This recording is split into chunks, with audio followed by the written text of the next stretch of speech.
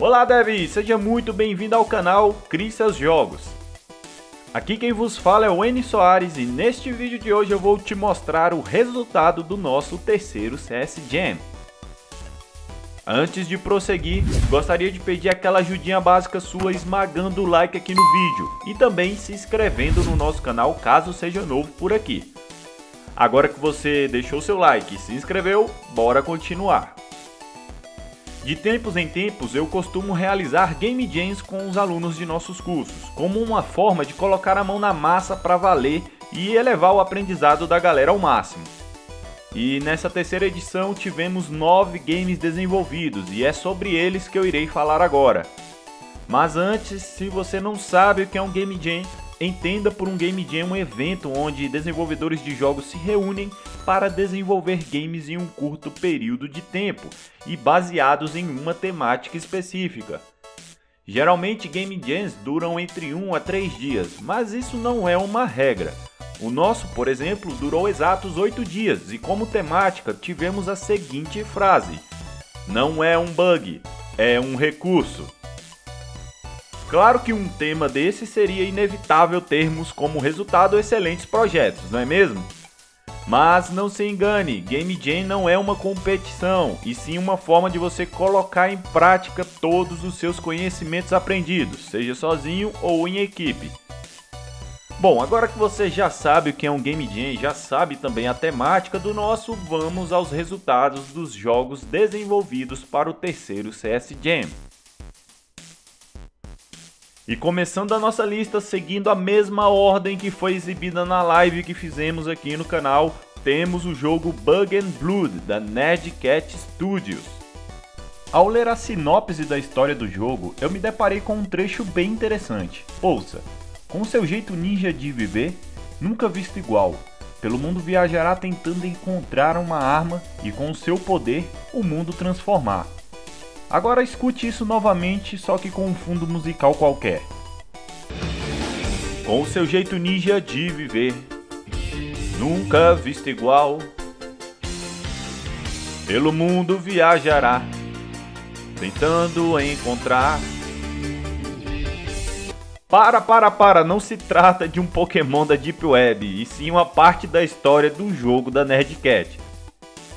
Bug and Blood conta a história de um rapaz que faz justiça com as próprias mãos para livrar o mundo da mídia e políticos que manipulam pessoas afirmando que games geram violência. Cheio de referências e com muito sacado, no jogo desenvolvido pela Nerdcat, nós temos que utilizar de bugs deixados propositalmente pelo desenvolvedor do game para eliminarmos inimigos e chegarmos ao objetivo final do game.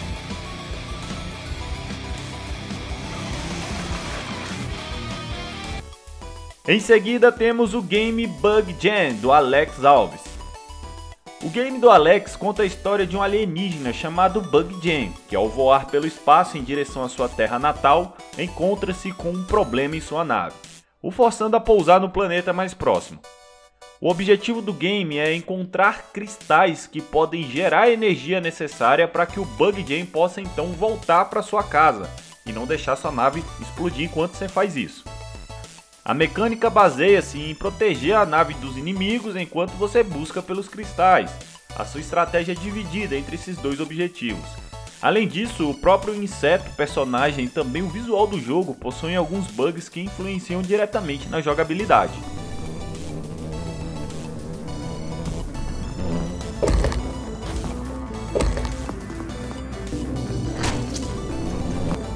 O próximo é o Bugs Wars da Gamers SFX. O planeta Bugs é habitado por insetos que conviviam de forma pacífica até que uma entidade maligna domina o planeta. Então, um dos clãs resolve defender o seu reino com todas as suas forças, resultando em uma guerra. O Bugs Wars consiste em uma espécie de Tower Defense, só que um pouco diferente, já que os insetos possuem movimentos bugados, por assim dizer. Isso mesmo, bugs bugados e o seu objetivo é sobreviver ao máximo aos ataques dos inimigos, até que só reste a opção de fugir do planeta.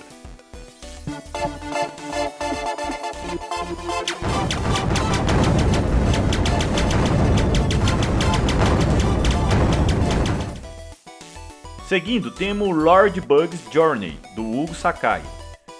Joaninho conheceu o amor da sua vida através de um aplicativo. Ajude-o a encontrar sua amada Joaninha. Esse é o objetivo do game desenvolvido pelo Hugo. Um pequeno objetivo que poderia ser simples, só que não. O game possui diversos bugs que influenciam diretamente na jogabilidade e na jornada do Joaninho. Alguns deles até te ajudam a chegar ao objetivo, outros nem tanto.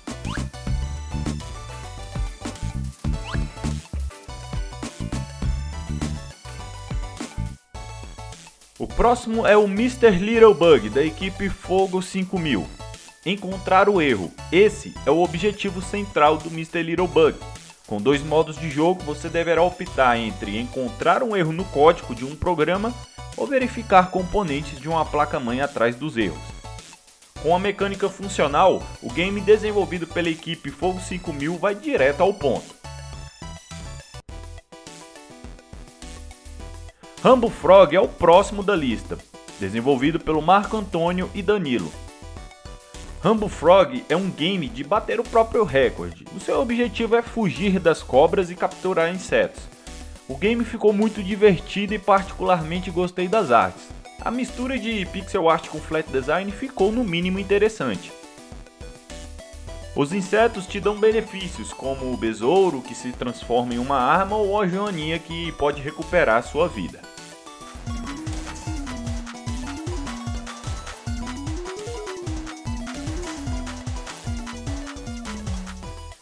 Em seguida, temos o Space Raider da Raider 9. Acredito que muito inspirado no Space Invaders, o game da Raider 9 poderia ser mais um game do gênero. Bom, poderia. Isso porque a simples mecânica de pausar os movimentos das naves inimigas, nos remetendo a um bug, uma espécie de bug no jogo, torna tudo isso muito mais interessante e diferente. O fato de poder parar para pensar o próximo movimento me agradou bastante nesse jogo.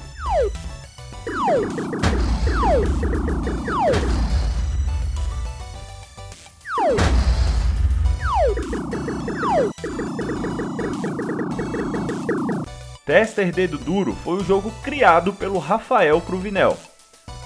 A história se baseia em um estagiário que deve jogar um game desenvolvido por um malucão da empresa onde trabalha. O objetivo é encontrar glitches espalhados pelo jogo, atuando como um game tester. Um game puramente de estratégia, ao estilo do bom e velho Worms ou Gunbound. Esse é o projeto desenvolvido pelo Rafael, mas claro que não pararia por aí. Além da mecânica diferente dos outros games desenvolvidos no terceiro CS Jam, o game conta ainda com glitches ou bugs, se preferir, espalhados pelos níveis. Ou seja, se você encontrar um glitch, poderá usá-lo para passar de nível mais rápido.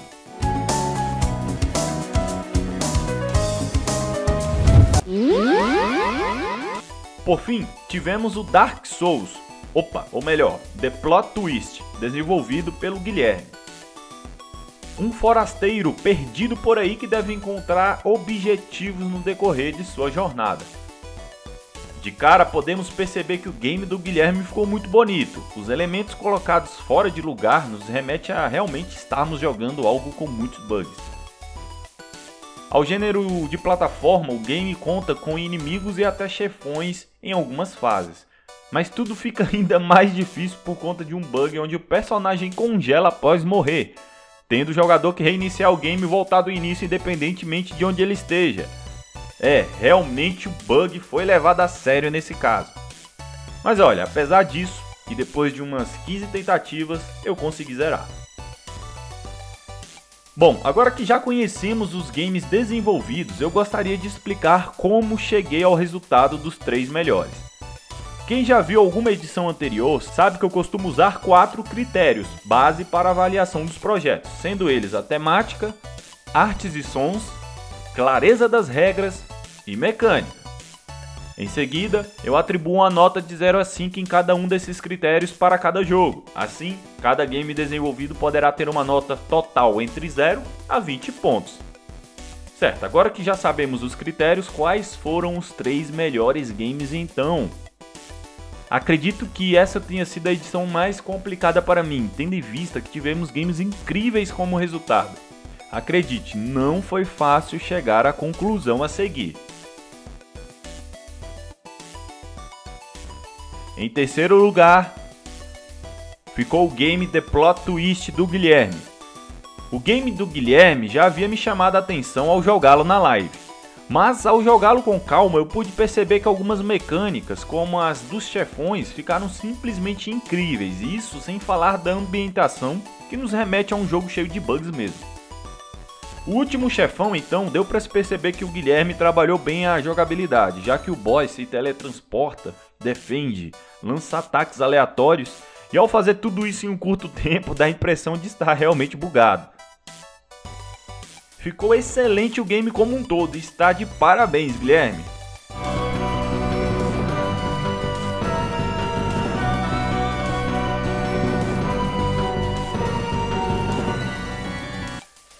E em segundo lugar, os games Bug Jam do Alex Alves e o Bug and Blood da Nerdcat Studios. Sim, esses dois games empataram em segundo lugar. É a primeira vez que isso acontece por aqui. Falando primeiro do Bug Jam, a ambientação criada pelo Alex ficou incrível. Isso somado ao efeito visual de bug no próprio personagem e em outros elementos tornaram o jogo com um visual muito lindo. A mecânica ficou muito boa e depois de um tempo jogando, você começa a perceber as melhores estratégias que pode utilizar.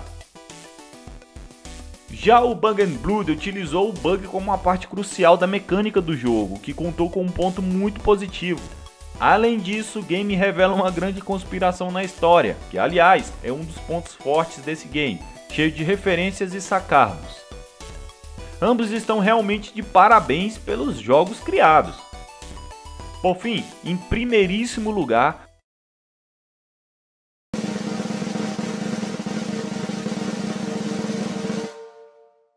o game do Hugo Sakai, o Lord Bugs Journey. Bem, apesar de todos os games citados anteriormente poderem estar em primeiro, o Lord Bugs Journey realmente me chamou a atenção. A temática foi inserida perfeitamente dentro da jogabilidade. Os níveis tiveram uma progressão de dificuldade e, combinados com o efeito de bug, tornou tudo mais interessante.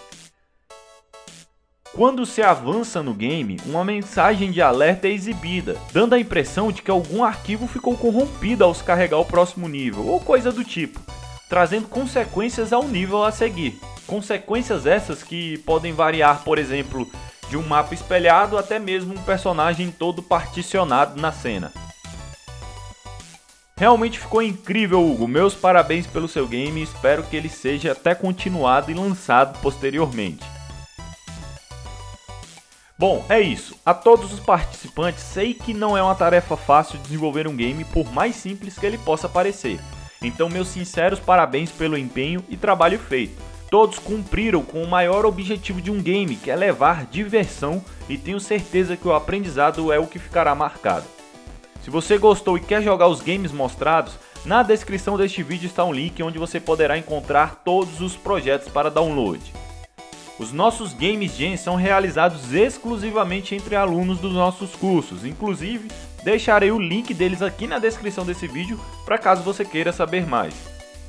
Estou estudando a possibilidade da quarta edição do CS Gen ser aberta ao público. Se isso realmente acontecer, estarei informando maiores detalhes aqui pelo YouTube e também lá no meu perfil do Instagram. Se você for a favor disso, já deixe aqui nos comentários informando que você quer que role uma edição aberta ao público. No mais, vou ficando por aqui e se você tiver gostado do vídeo, não se esqueça de deixar aquele like maroto e mandar e compartilhar aí para todo mundo, tá bom? Até a próxima!